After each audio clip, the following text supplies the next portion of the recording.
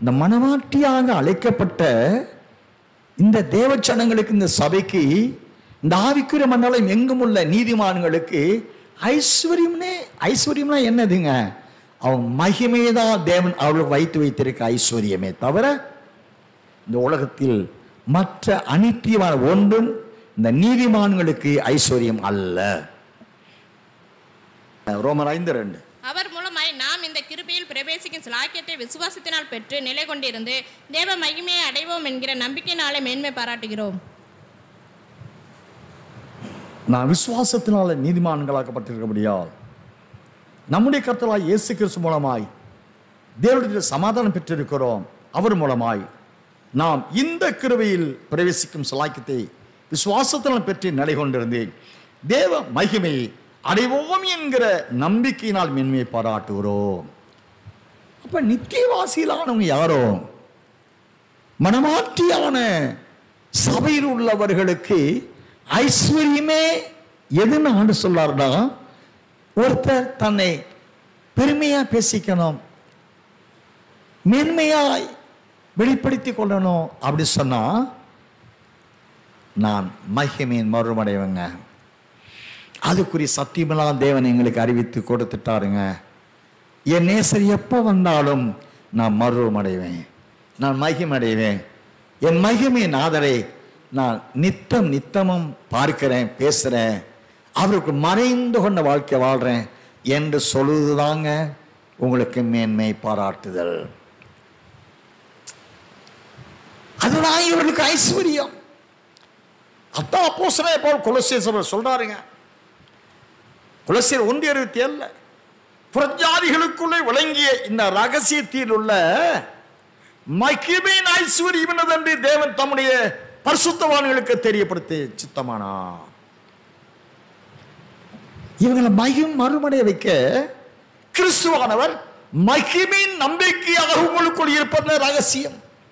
இப்போ உங்களுக்குள்ளே மகாராஜா இதை பரிசுத்த ஆவியானவராக தங்கி தரித்திருக்கிறார் என்றால் உங்களை அவருக்கு முன்பாக ஒரு மகிமையின் மருவத்தை அணிந்து கொண்ட நித்தியவாசிகளானவர்களாக அவருக்கு முன் உங்களை நிறுத்தி பார்க்க நேச சித்தம் கொண்டுதான் பரிசுத்த ஆவியானவராக நான் ஏசப்பா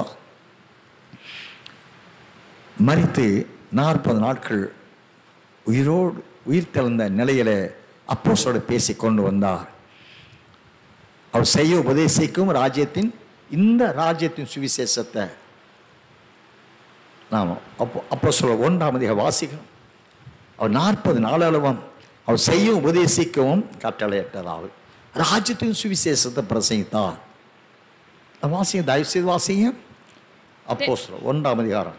தேவப்புழுவை இயேசுவரவ தாம் தெரிந்து கொண்ட அப்போஸ்தலருக்கு பரிசுத்த ஆவினாலே கட்டளையிட்ட பின்பு அவர் எடுத்துக்கொள்ளப்பட்ட நாள் வரைக்கும் செய்யவும் உபதேசிக்கவும் தொடங்கின எல்லாவற்றையும் குறித்து முதலாம் பிரபந்தத்தை உண்டு பண்ணினேன். அவர் பாடுபட்ட பின்பு நாற்பது நாளளவும் அப்போஸ்தலருக்கு தரிசனமாகி அவர் பாடுபட்ட பின்பு நாற்பது நாளளவும் அப்போஸ்தலருக்கு தரிசனமாகி தேவனுடைய ராஜ்யத்துக்குரியவைகளை அவர்களுடனே பேசி அநேகம் தெளிவான கிறிஸ்தாந்தங்களினாலே அவர்களுக்கு தம்மை உயிரோடு இருக்கிறவராக காண்பித்தார். தேவனுடைய ராஜ்யத்துக்குரியவைகளை அவளுடைய பேசி அநேக திருஷ் தெளிவான திருஷ்டாந்தங்களினால் அவ்வளவு தம்மை உயிரோடு இருக்கிற காண்பித்தார். இப்போ தேவனுடைய ராஜ்யம். நீ தொடர்ந்து அதிகாரத்தை வாசித்தா? அப்போ அந்த சீசனில் கேட்குறாங்க தேவனுடைய ராஜ்யத்தை எப்பொழுது இஸ்ரேலுக்கு கொடுப்பீங்க? அப்படின்னு கேட்குறாங்க ஆ ஆறாம் வாசிங்களேன் அப்பொழுது கூடி வந்திருக்கிறவர்கள் அவரை நோக்கி ஆண்டவரை இக்காலத்தில் ராஜ்யத்தை இஸ்ரவேலுக்கு திரும்ப கொடுப்பீர் என்று கேட்டார்கள். அதற்கு அவர் பிதாவானவர் தம்முடைய ஆதீனத்தில் வைத்திருக்கிற காலங்களையும் வேலைகளையும் அறிகிறது உங்களுக்கு அடுத்ததல்ல. பரிசுத்தாவி உங்களிடத்தில் வரும்போது நீங்கள் பலனடைந்து எருசலேமிலும் யூதயா முழுவிலும் சமாரியா முழு- சமாரியாவிலும் பூமியின் கடைசி பரியந்தமும் எனக்கு சாட்சிகளாக இருப்பீர்கள் என்றார். இவைகளை அவர் சொன்ன பின்பு அவர்கள் பார்த்து கொண்டிருக்கையில் உயர எடுத்துக்கொள்ளப்பட்டார். அவர்கள் கண்களுக்கு மறைவாக ஒரு மேகம் அவரை எடுத்துக்கொண்டது. அருமையான கர்த்தரி பிள்ளைகளே தேவனுடைய ராஜ்யம் எப்போ வரும்? சிறுவர்களுக்கு எப்போ அதை திரும்ப கொடுப்பீர்? அப்போது அவங்க கேட்டது ஆபரகாமுக்கு கொடுத்த ஏழு ஆசீர்வாதங்கள் சிறுவர்களுக்கு கிடைக்க வேணுமே என்று ஆபராம் கொடுத்த ஆதியம் பன்னெண்டாம் அதிகாரத்துக்கு கொடுக்கப்பட்ட அந்த ஆசீர்வாதம் நினச்சி கேட்குறாரு கேட்குறாங்க சீசர்கள். ஆனால் ஏசபா சொல்கிறாங்க அது பிதாவுடைய சித்தம். பிதாவானவர் தம்முடைய ஆதீனத்தில் வைத்திருக்கிற காலங்கள் வேலைகளையும் அறிகிறது. உங்களுக்கு அடுத்ததில் இது உங்களை சார்ந்தது இல்லைங்க. பிதாவுடைய ராஜ்யத்தை இந்த மகிமையின் மறுரூபத்தை அணிந்து கொள்ளக்கூடிய அந்த கூட்டத்துக்கு தான் பயப்படாத சிறுமந்தையை தேவன் தம்முடைய ராஜ்யத்தை உனக்கு கொடுப்பார். ஒரு சிறு கூட்டத்துக்கு தான்.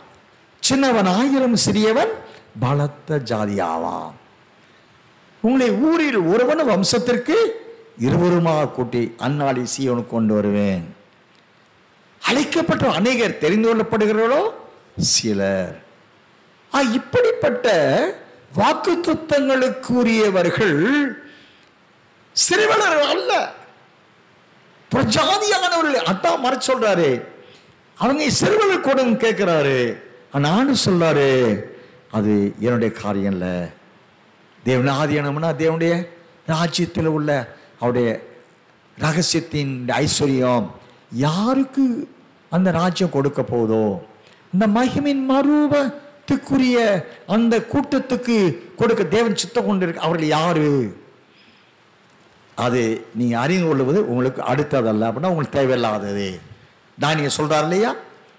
இது ஓ அதை முத்திரை போட்டது கடைசி காலத்துக்குரியது என்ன சொல்றாரு இல்லையா? இங்கே எடுத்துக்கொள்ளப்படுது நாற்பது நாளில் சொல்றாருங்க.